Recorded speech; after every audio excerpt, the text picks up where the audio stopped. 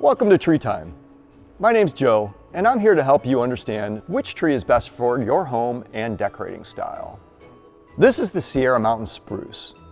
It features a high percentage of PE branch tips that we've molded to look exactly like spruce needles. This is a mid-sized design, measuring 54 inches in diameter on the 7.5 foot version, so it fits well in moderate spaces. Notice that the tree has an open layered edge, but is still dense in the center of the tree, blocking the view of the trunk. This open edge, comprised of these strong PE branches, gives you wonderful spaces that can showcase large dangling ornaments.